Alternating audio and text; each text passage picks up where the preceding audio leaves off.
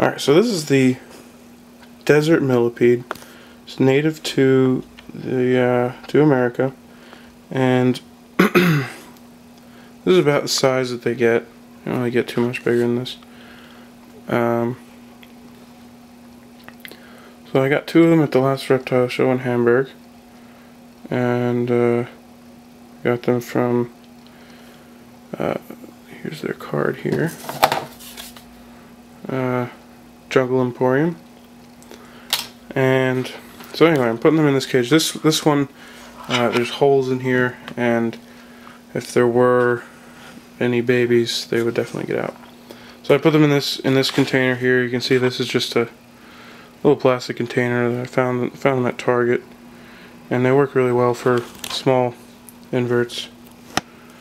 So I'm taking them out of this. This is an iris tub. I'm not sure what size but uh, I'm going to put something else in there. And it's a pretty cool species. It's nice. They um, they they're not huge, but they're not small, and uh, they're really pretty. Love that color. And so, pretty easy to take care of. Um, they eat pretty much all kinds of fruits and vegetables and stuff like that and they burrow somewhat so that's why there's the dirt here. This is just regular potting soil which is fine. Um, they are a desert species. A lot of people like to use sand but uh, that doesn't that doesn't keep very much humidity which these guys don't necessarily need but I try to give it give them something. Um, and so I have the top here which I'm probably going to put on now because they keep coming out Whoops. And so these these containers are really good. I like them a lot.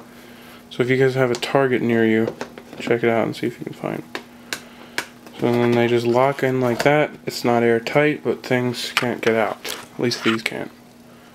So hopefully, I got a male and a female in there. I don't know. It's not really very easy to tell, but uh, you know.